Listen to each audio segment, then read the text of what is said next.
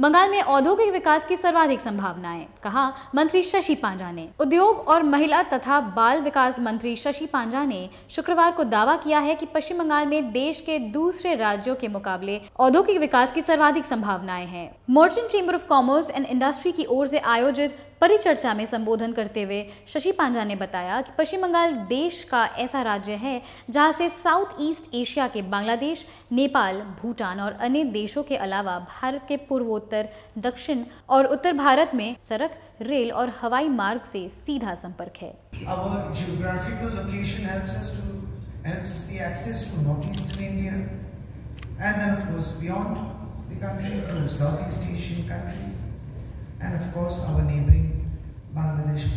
है